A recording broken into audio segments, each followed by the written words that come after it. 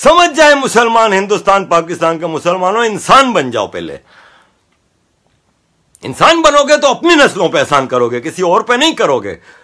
वरना दुनिया भर में जो आज जलालत हमारे नसीब में आ गई है, वो तुम मुसलमान लीडरों की पॉलिसी की वजह से तो आई है हम अमेरिका का थोड़ी वो गिला करेंगे। क्या अमेरिका यहाँ पे जंग फैला रहा है, अफ़गानिस्तान में अमेरिका आया? हम तो अपने मुहाफिजों से गिला कर रहे हैं। जिन्होंने मेरे वतन पाकिस्तान को north to south, east to west पूरा टेररिस्तान बना दिया है। जिसकी जब जहाँ मर्ज़ी आती है धमाका कर जाता है। जिसकी जब मर्ज़ी आती है वहाँ फोर्स कन्वर्जन कर देता है। जिसकी जब मर्ज़ी आती है वहाँ पे किसी का भी कत्लेआम कर देता है। ये हमने मुसलमानों का अलग मुल्क जो हासिल किया था, उसका यह हशर किया है। और अब तुम हिंदुस्तान के मुसलमान तुम उस जन्नत को बर्बाद करने पे लगे हुए हो। मुझे कोई दुनिया का एक देश दिखा दो। एक देश जिसका स्टेट रिलीजन इस्लाम नहीं है, फिर भी उसकी सड़कों पे नमाज़ हो रही है। मेन रोड्स आप ब्लॉक करके नमाजें अदा कर रहे हैं और धड़ल्ले से बदमाशी से करते हैं। कोई चीपे नहीं कर सकता। रोकना तो दूर की बात। रवैये पर अपने गौर करें, शर्मिंदा हो जाएँगे। ये मादर पिद्दर आज़ादी आपको दुनिया में कहीं नहीं मिलेगी। मैं इस लंदन में रहता हूँ, यूरोप में तीस साल हो गए मुझे। मैंने तो कहीं यहाँ पे सड़कों पे नमाज़ होते नहीं देखी। जो कभी इंग्लैंड की वो तो एकाध कोई वीडियो शेयर होती है। You can not block public space legally ये क्राइम है। हिंदुस्तान में मज़े से हो रहा है। रोकते हैं तो कहते हैं कि देखें जी, मुसलमानों पे। अब वो जावेद अख्तर साहब ने कल एक ट्वीट की है कि शर्म आनी चाहिए ये हमारे होम मिनिस्टर को। दुनिया पेंडेमिक से लड़ रही है, दुनिया ये कर रही है और ये उन लोगों को गिरफ़्तार करने में लगे हैं जिन्होंने सिटीजन अमेंडमेंट एक्ट के खिलाफ प्रोटेस्ट किया था। तो इसका मतलब क्रिमिनल्स को छोड़ दें, पेंडेमिक में लड़ रहे हैं तो आ जाओ भाई, जिसको जो रेप करना है, कत्ल करना है, करते रहो भाई, पकड़ना मना है। क्योंकि जावेद अख्तर साहब ने ज्ञान दे दिया है पूरे कौम को।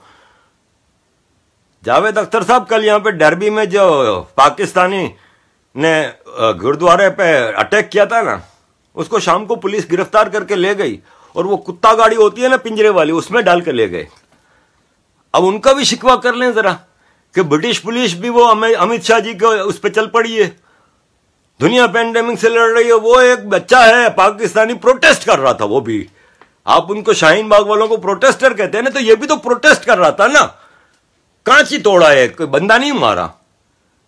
तो शर्म आनी चाहिए, फिर ब्रिटिश पुलिस को भी कि वो पेंडेमिक से लड़ने के बजाय एक क्रिमिनल को गिरफ़्तार कर रही है। जावेद साहब, क्या बात है? आजकल तो आपका दिमाग बड़ा आसमान पे चल रहा है। मतलब खुदा का खौफ करें, आप कह रहे हैं कि क्रिमिनल्स को लीव एट लार्ज सिर्फ़ इसलिए कि उन सालों का नाम मुसलमान है। इसलिए आप उनकी वकालत कर रहे हैं। मैंने नहीं देखा कि कभी आपने किसी हिंदू के गिरफ़्तार होने पे कोई, आपने झंडा उठाया हो। आपका एथेइस्ट, आपका सेक्युलरिज्म, यही सारा ढकोसला आपका नज़र आ जाता है हमको। मेरा गिलास तोड़ दिया आपने, पानी का। जावेद साहब, इंसान बने। मसला यह है कि इस हिंदुस्तान में आप जैसे लोग लीड कर रहे हैं मुसलमानों को। मुसलमान आपको देख रहा है। आप कम से कम उनके लिए करेक्ट राह तो निकालें। भूल गए आपके, इस हिंदुस्तान ने आपको सब कुछ दिया है। आज जो मान, सम्मान, इज़्ज़त, दौलत, शोहरत, सब कुछ इस मुल्क की वजह से। आपके कई भाई लोग गए थे हिजरत करके उधर। याद होगा आपको, सब अच्छी तरह याद होगा। कई लोग गए थे यहाँ से आपके कबीले के लोग। साहिर लुधियानी भी गए थे, वाक्य वापस आ गए थे। बड़े फखर से गए थे। हम लोग तो गए तो हमारे माँ बाप तो फिर फंस गए ना। सड़क पे झोंपड़ी बना कर रह रहे थे, वापसी के रास्ते बंद थे, सब कुछ था। ये लोग वापस आ गए थे। और जो रह गए थे, उधर रईस अमरोही, अमरोहा से बड़े शायर थे। मार दिया कराची की सड़कों पे, कत्ल कर दिया। कसम पुरसी की ज़िंदगी आपके कबीले के लोगों ने इस पाकिस्तान में गुजारी है। कदर करें ना तो अल्लाह ने इतनी बड़ी नेमत आपको दी है ये हिंदुस्तान। इसको संभालें। इस हिंदुस्तान का एक एक रिहायशी सिटीजन आपका है। अगर आप ऑन करो तो ये पूरा हिंदुस्तान आपका है, इसमें बसने वाले हिंदू भी आपके हैं। आप उनको अगर गैर समझते रहेंगे, आप एक कम्युनल कम्युनल डिवाइड लाते रहेंगे। You are not serving your country you are not serving your people and you are not serving your religion अब मुझे नहीं पता कि मैं बहुत बोल चुका हूँ और बोलने को मैं बहुत कुछ बोल सकता हूँ। ये एक ऐसा मौजू है, ऐसा टॉपिक है कि जो मुझे रात को नहीं सोने देता। देखें, मुझे जावेद साहब की एक और बात याद आ गई। जावेद साहब बार बार एक ट्वीट करते थे कि तारिक साहब एक कैनेडियन जर्न, पाकिस्तानी जर्नलिस्ट को अचानक हिंदुस्तान की मोहब्बत कैसे जाग गई?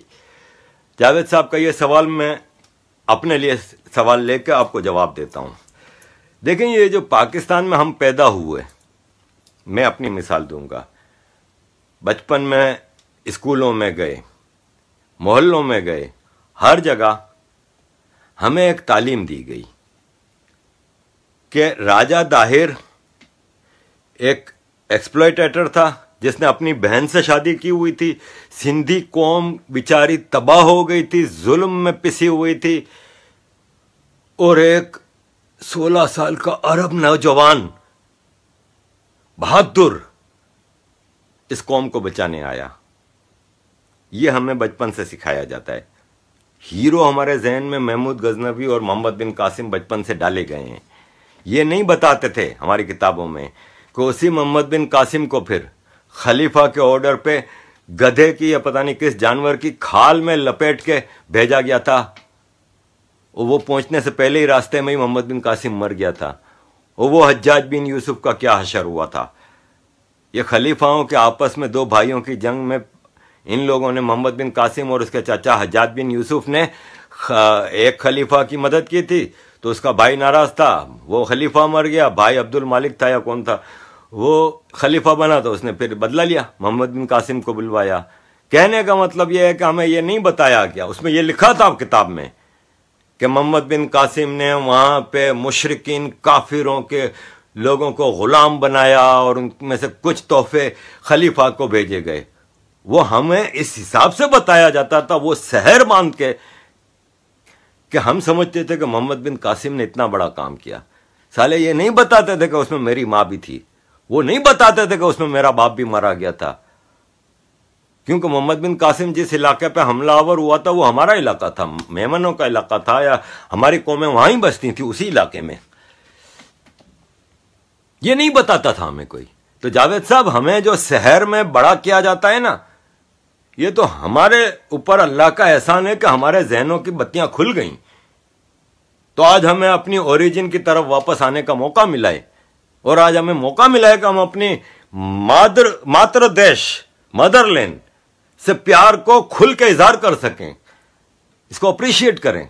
इस पर उंगली ना उठाएँ कि भाई आज अचानक हमारे दिल में हिंदुस्तान का प्यार जागा। अरे भाई, जागा तो आपका तो आज तक नहीं जाग रहा। ये हमारे लिए बड़ा हौसला होता है कि खुल के कह देना कि जी, हम हिंदुस्तान के हैं और हिंदुस्तान से प्यार करते हैं। बड़ा मुश्किल काम होता है, लेकिन मैं, तारिक भाई और ऐसे कई लोग आए हैं आज, जो ये कहने के लिए आए हैं कि ये हमारा देश है, इसको गाली ना दो। एक पाकिस्तानी यहाँ पे आता है, पचास साल पहले। वो आज भी अपने आप को पाकिस्तानी कहता है।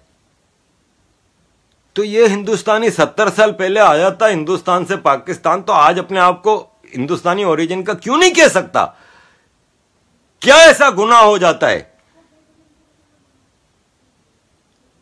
भाई, एक गुजराती है, जिसके अजदाद, जिसके पुरखों ने हिजरत कर ली थी ईस्ट अफ्रीका 200 साल पहले। या साउथ अफ्रीका चला गया था। या बारबेडोज और वेस्ट इंडीज के दूसरे जजायर पे चला गया था। वो आज 200 साल 400 साल बाद भी आपको उसकी नस्ल का कोई आदमी मिलेगा तो आप उसको पूछोगे हाँ भाई कौन हो? तो ये नहीं कहेगा कि मैं तांजानिया से हूँ। या मेरे दादा भी तांजानिया में पैदा हुए थे दारुसलाम में, यकीनिया में पैदा हुए थे। वो यही कहेगा, मैं इंडियन हूँ। 400 साल पहले उसके अजदाद ने हिजरत की थी। ये यहाँ हमारे पीछे घर की गली में एक हैं गुजराती। जब हम नए नए आठ साल पहले आए थे, तब उनसे मैं जब पहली बार मिला था, मैं कहता मैं गुजराती छो? वो खुश हो गया, बोला हाँ गुजराती छू। मैं कहा से? बोला, वो हिंदुस्तान से, सूरत। मैं कहा अच्छा जाते रहते हैं? बोला हंसने लगा, कहता, नहीं नहीं, मैं तो दारूसलाम में पैदा युगेंडा में पैदा हुआ था, कंपाला में, और मेरे तो परदादा ने हिजरत की थी। मैं उस वक्त तो नहीं सोचा, लेकिन जब मुझे किसी, मैंने किसी को कहा कि मैं इंडियन ओरिजिन से हूँ तो बोला, तुम तो पाकिस्तानी हो। तो मैं सोच में पड़ गया कि सला बहत्तर साल पहले धक्का मारकर ज़बरदस्ती का हमें पाकिस्तान में भेजा गया। तो आज हम अपने आप को इंडियन ना कहें। एक चार सौ साल पहले जिसने हिजरत की थी, वो अपने आप को इंडियन कहे। तो असलियत ना बदलो भाई, नहीं बदलो, नहीं बदल सकते। वो साइंस भी अभी तक ईजाद नहीं हुई जो आपका डीएनए चेंज कर दे भाई, या आपकी इस चमड़ी का रंग चेंज कर दे। जो हो, वो रहो, वही तुम्हारे लिए बेहतर है। तुम, मेरा ख्याल है, मैंने बहुत ही ज़्यादा बोल दिया। मैं सबसे पहले तो पुष्पेंद्र जी, आपके सामने हो, आपके प्लेटफॉर्म पे मैं सुनने के लिए बड़ा बेताब रहता हूँ। बोलने का मौका दिया मैं। बहुत आभारी हूँ आपका। और जो सुन रहे हैं उन सब के लिए भी कि भाई मैं कोई स्कॉलर नहीं हूँ। मैं बार बार कहता हूँ कि मैं एक विद्यार्थी हूँ, मैं एक स्टूडेंट हूँ।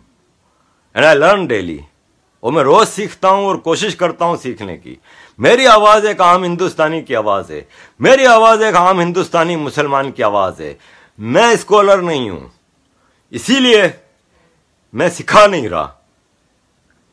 मैं सीखने की कोशिश कर रहा हूँ। मैंने जितनी बातें की हैं, अपने दिल से की हैं, किसी की दिल आजारी के लिए नहीं की, पॉइंट स्कोर करने के लिए नहीं की।